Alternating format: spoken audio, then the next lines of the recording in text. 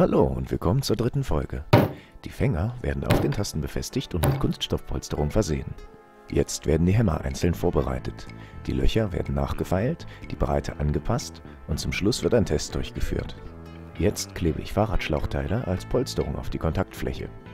Nachdem alle Teile fertig sind, kann ich beginnen, die Tastatur zusammenzufügen. Die Bohrmaschine hat mehr als minderwertige Arbeit geleistet. Die Tasten waren in unterschiedlichen Höhen. Die zu hohen Tasten konnte ich wieder herunterfeilen, die niedrigen bleiben so. Der bewegliche Teil auf der Schiene für das linke Pedal funktioniert. Mit den Hämmern haben die Tasten jetzt das richtige Gewicht, um nach dem Betätigen in die Ausgangsposition zurückzufallen. Wir sehen uns im nächsten Video, nachdem ich 61 Prellzungen ausgesägt und installiert habe.